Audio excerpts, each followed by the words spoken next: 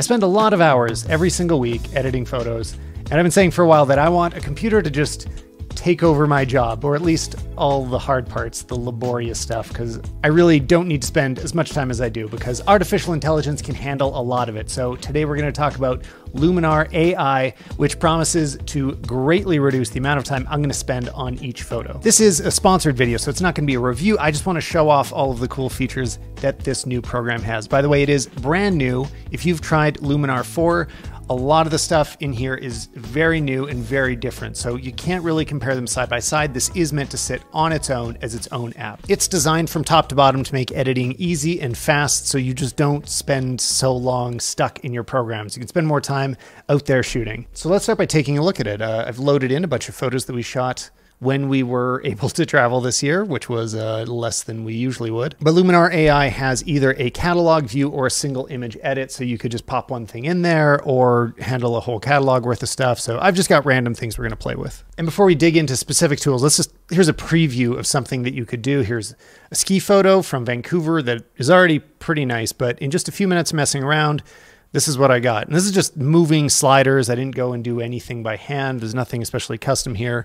But if we flip back and forth, you can see that's a pretty nice improvement for almost no effort. And this one, this is a pretty nice photo already. It doesn't look like it needs much, but with just one or two clicks, you can do something pretty impressive. This isn't typically how we'd edit our photos. This is a little more artistic, but just seeing how far you can push it. Another cool feature that'll be coming soon it's not released as of recording, but is you're going to be able to see the reflections of the clouds in the water in the photo without doing anything manually yourself. The app will handle it all through artificial intelligence. So let's start by looking at how I did this one with just one click. I'm going to reset all of the adjustments. And all I did is come here into the templates section and it not only suggests some different templates for this photo, but has tons that you can choose from. So I think this one I used Toscana and there you go literally one click. The whole the whole thing happens all at once. Oh crazy. I just realized the moon is there. All right look just for fun i want to dive a little further. Let's just play with the creative mode augmented sky and let's add a bigger moon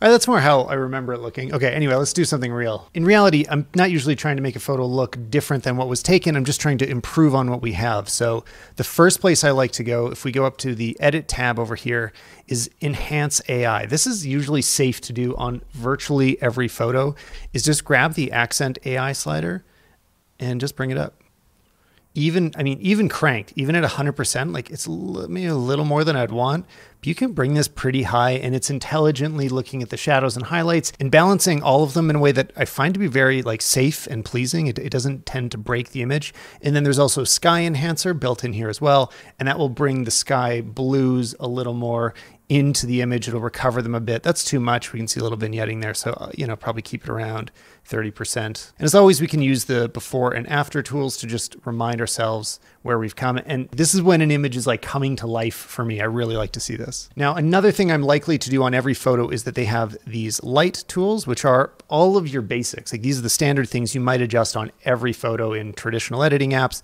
So I'm usually still going to tweak my exposure and my white balance a little bit for the photo. So in this case, I want to cool it down a bit. Some of those yellows are a little too intense.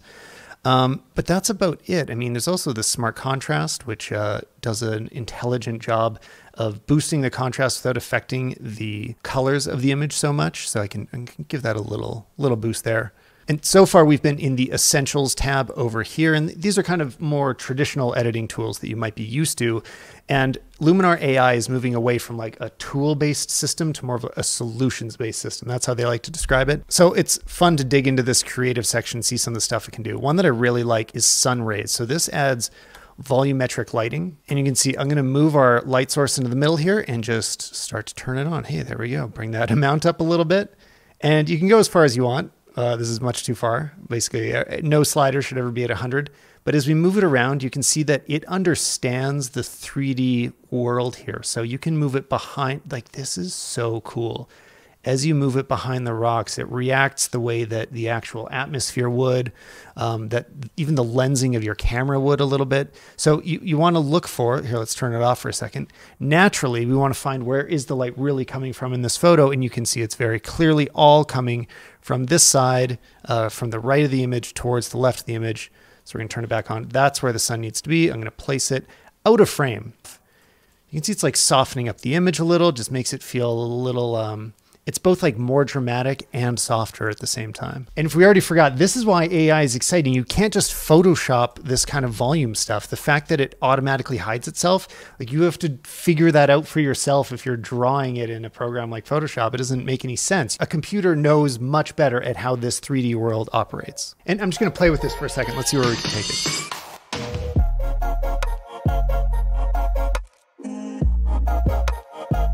And there we go. A minute later, we got something pretty nice. It's ready for Instagram. All right, let's go back and try out a few more of these features. Here's some cool fog that we came across while we were in Portugal, and I think it's a good opportunity to show off the volumetric fog that is available inside the Atmosphere AI tool. So if I turn it on, right now I'm going to use haze, and uh, so you can see there's a real fog going on in the background. Uh, this isn't all synthetic, there's some reality here. And first I'm going to turn it up. We're not really going to see it yet because it's blending in with the other haze, but as I move this depth slider, you can basically see it's like creeping forward physically in reality. It's going from behind the hills, behind the car, to gradually in front of the car, and you can move it back and forth. So the Atmosphere AI actually understands the relationship of objects within the photo and is intelligently 3D processing it without a depth map. I mean, it's just looking at the photo and understands the stuff. So let's push this photo a little further. Let's crack open like all of the AI tools at once. There's composition AI. This will crop everything automatically for you. It'll see things like vignetting and try to remove that a little, try to straighten the image. Let's go to Enhance AI. I love Accent as always, just gives it a nice subtle boost. I'm gonna open up Structure AI and uh, you can see that it adds this kind of like high radius sharpening, except intelligently. What I really like this sort of tool for is something like um, YouTube thumbnails. I'll always add exactly this kind of effect just to make them much more visible when they're small. That's what you mostly want to use it for. If you're viewing the image big, you don't really need this structure as much. It can be a little unflattering. But when you're viewing something from farther away, adding this can really make it pop at a small size. All right, we don't have any sky to change in here. Uh, sure, let's turn the atmosphere on just for fun. By the way, atmosphere can remove some contrast. Don't be afraid to do that sometimes. Everything doesn't need to be super punchy. It's pretty crazy that as I add the sun rays, it just looks like it's coming through the tree back there, like, and actually lighting him. I mean, I, don't want to turn it up too much to give it away too much. Yeah, I can turn it up and down. I, I, like this though. It actually feels like there's a light poking through. What else? We got some drama we could turn up a little. If we open up moods, this basically lets you load in LUTs, which you might have purchased some externally, but there's a whole bunch that just come with Luminar AI already. So you can basically apply one of these built-in filters. Keep it subtle, a little more contrast. By the way, keep in mind that all of this is still very early. I am using a beta version, so things in here will change by the time you use Luminar AI. I'm just playing with what's here now, but there will be some changes, especially in terms of performance by the time it launches. All right, to test out some portrait tools, let's look at a photo of my wife, Anya here. Follow her on Instagram at Anya B. I mean, it's the best place to see the photography we do together because she posts way more often than I do. So in the portrait tools, we've got Face AI, which does really smart stuff. Like it finds the faces in the image and I'll crank this so you can see it. It relights them. So this is especially cool if there's a group shot because everybody in the image can individually have their faces lit. And once you've detected the face, you can start to do interesting things that you could slightly slim it just a little bit. In Skin AI, you can remove some basic like blemishes and just clean things up a little very subtly. You know, I would never turn it here. Let's crank it. There, you can see it over smooths, but it's still detecting the mouth and the eyes. You can see what it's doing. So you'd never use it at 100. I mean, I'm going to, you know, I'm going to turn to like maybe 18, 19. Then there's also the body tool, and this basically can shape and sculpt the body subtly using artificial intelligence. Again, this isn't something you'd want to push very far, but it finds the people inside the image, and as you move it, you can make people different sizes. But what's nice is if you copy the adjustments, you can paste them on something else and it will detect the person in the other photo and apply the exact same adjustments and you don't need to mask them on anywhere. It'll just do the same thing to every person it finds in the scene. One of my favorite features and something we do all the time in many of our photos is replace the sky. This takes a long time in traditional editors. You have to manually mask everything. And a photo like this is especially hard because you've got little holes in between all the flowers. It's it's really difficult and time consuming. And if you think of movies like Mad Max Fury Road, it's famous for its lack of visual effects, but they are doing a ton of sky replacements everywhere. It's really common and can really help a photo. So in just a few clicks, this is what I was able to get. And some tricks if you want to blend this in a little bit more. First of all, you want to match the exposure of your sky. So if you kind of flick on the before and after, try to get something that's as similar as you can to the original. So that means things like matching the exposure. So I'm going to bring the sky nice and bright. I'm also going to turn up the haze so that it's not, you know, it's not way more saturated in blue than the rest of the image and make sure that the blur levels kind of match what's going on in the background. Like it shouldn't be perfectly sharp. So I'm just going to try to kind of balance that focus a bit. And there we go. Quick on and off. Now I can see it's eating into the flowers a little bit. So if I turn up close gaps, you can see here, it fixes those holes. And uh, there we go. I think we have something pretty believable. Now let's just do a few more adjustments, make this whole photo look cool. Other reasons I've been really excited about artificial intelligence, and I've, I've been talking about this a lot on the podcast, so you can listen there if you want to hear more.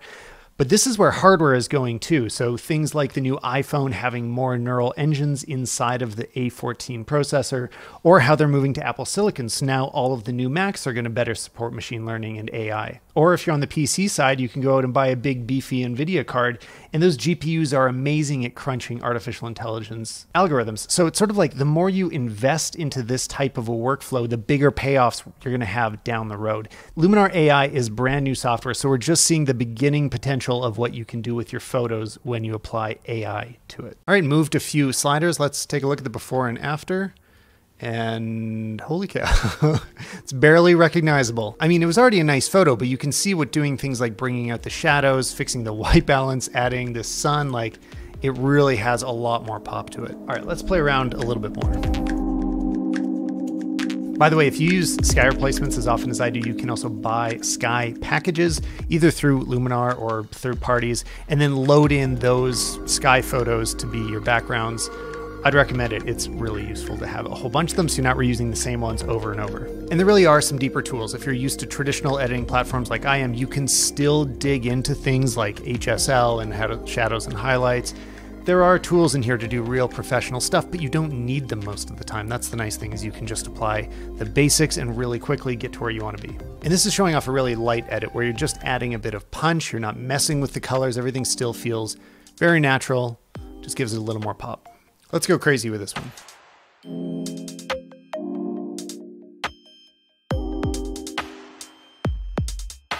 All right, that's pretty fun.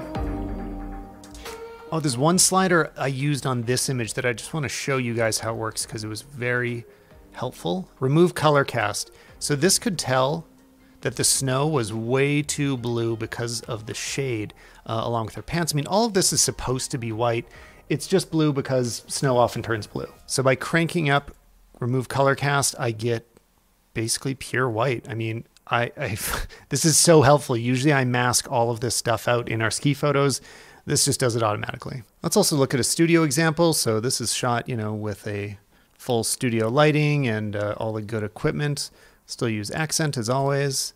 Needs to be warmed up a bit. It's too cool. We still got professional tools like erase, so this can take out some of these spots we've got from the sensor. We'll jump into our skin tools and the face.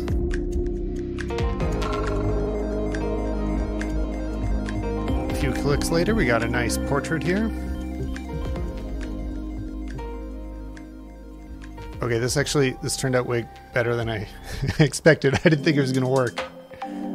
By the way, a good final tip is to add just a tiny bit, like one or two on the film grain at the end, because that'll just help settle everything together so you don't have different noise on composite elements that you added to the background versus your foreground elements. If you weren't excited about AI going into this, hopefully Luminar AI has convinced you why it's awesome. So you can check out the link in the description below to learn more. And stay tuned because I'm going to talk about this type of technology a lot more in the podcast. It is the future. We're going to be seeing a lot more of it, and we'll be doing time consuming manual edits a lot less often. Thanks again for watching, guys. See you in the next video.